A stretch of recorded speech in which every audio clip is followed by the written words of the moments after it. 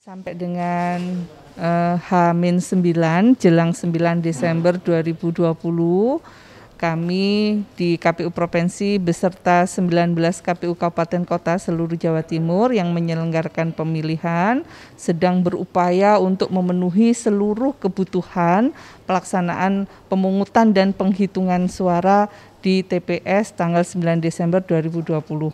Dari segi logistik misalnya, kebutuhan terkait dengan pemungutan dan penghitungan suara seperti pemenuhan kotak suara, surat suara, alat coblos gitu ya, formulir-formulir sedang kami penuhi. Kemudian tidak hanya logistik terkait dengan pemungutan dan penghitungan suara, hari ini kita juga punya kewajiban untuk menyiapkan uh, logistik terkait dengan pemenuhan protokol kesehatan ya.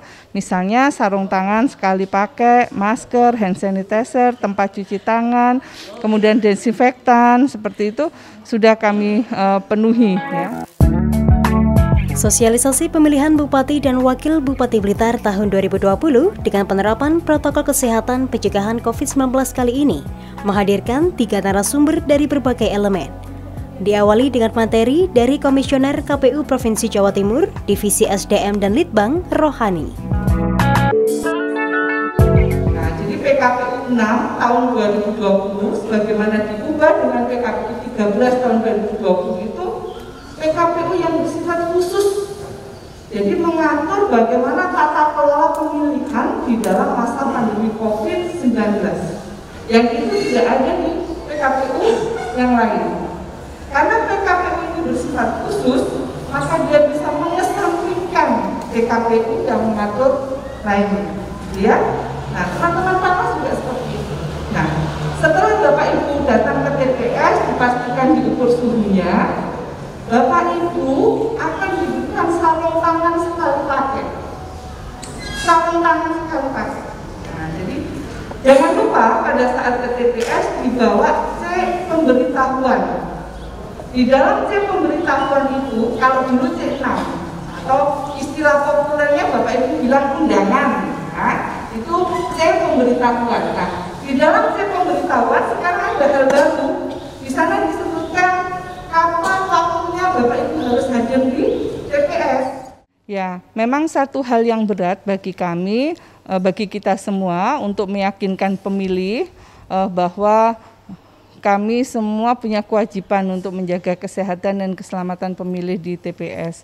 Sehingga eh, kebutuhan untuk meningkatkan partisipasi pemilih sekaligus untuk menjamin kesehatan dan keselamatan itu menjadi hal yang uh, kita prioritaskan. Jadi menjaga keseimbangan itu.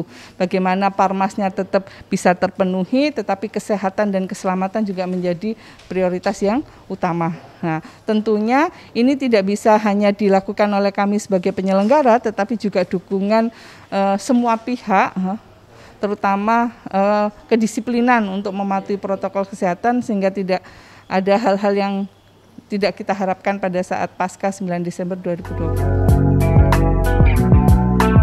Selain mengawasi agar tidak terjadi pelanggaran pilkada, pengawas pemilu juga harus mengawasi penerapan protokol kesehatan saat pilkada nanti. Hal tersebut disampaikan oleh Toto Haryono selaku Koordinator Divisi Sengketa Bawaslu Provinsi Jawa Timur. Tugasnya Panwas ini kalau dulu hanya mengawasi tahapan pemilu sekarang ini dengan kondisi keprihatinan maka tugasnya Panwas ini jadi tambah satu yaitu mengawasi protokol kesehatan itu menjadi domain Panwas setelah ada Perbu, Peraturan Mendagri, Maklumat Kapolri, SKB dan kita telah bekerjasama tertuang dalam keputusan bersama pengawasannya apa? pengawasan semua yang berkaitan dengan kegiatan masyarakat yang tujuan akhirnya pada pemilihan kepala daerah.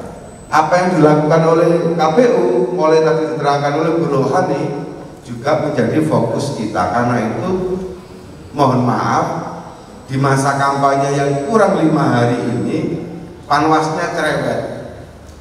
Kalau panjenengan melihat ada gangguan protokol kesehatan selama pemilihan sampai nanti pungut itu laporkan ke Panwas.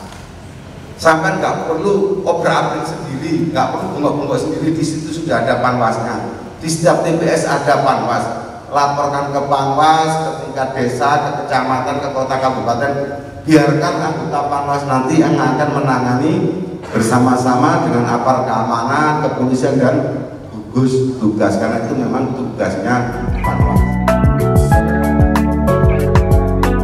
Kepala Dinas Kesehatan Kabupaten Blitar, Dr. Kuspardani menyampaikan perihal protokol kesehatan yang harus diterapkan selama pilkada.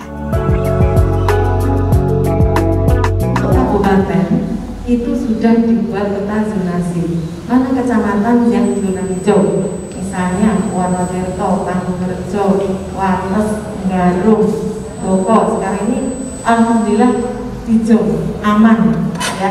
Bangkung kuning ya. Ada probable atau suspek. Lainnya masih merah.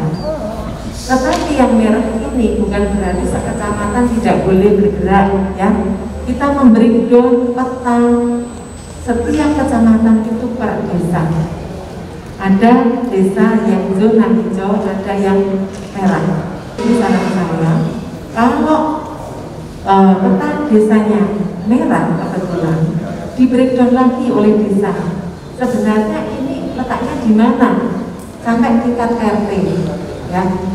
Kalau ada di situ penduduknya yang positif COVID, kami sarankan TPS-nya untuk dipindah ke RT yang lain. Sehingga melalui OPD, melalui pendekatan komunitas, di mana masing-masing OPD ini kan punya komunitas. Sebagai contoh Dinas Pertanian itu adalah e, Gapoktan ya itulah yang diundang yang diberi sosialisasi atau sasaran sosialisasi pada hari ini. Harapannya agar semua masyarakat nanti tanggal 9 itu berpartisipasi aktif. Memang karena COVID-19 dan banyaknya komunitas ini tidak semuanya diundang, hanya perwakilan saja. Sehingga saya rasa kegiatan ini juga sangat baik ya, karena memang masyarakat itu dengan adanya COVID mungkin pengetahuannya masih kurang atau katakanlah takut ya untuk datang ke TPS. Tapi dengan adanya sosialisasi tadi sudah dijelaskan panjang lebar bahwa kalau kita ke TPS insya Allah nanti akan aman ya semuanya eh, sesuai dengan protokol kesehatan dan juga dalam saat pemilihan itu tidak memerlukan waktu lama ya menyoblos itu hanya sebentar aja dan inilah yang kita tunggu-tunggu ya sehingga setelah sosialisasi ini tadi semuanya menjadi jelas.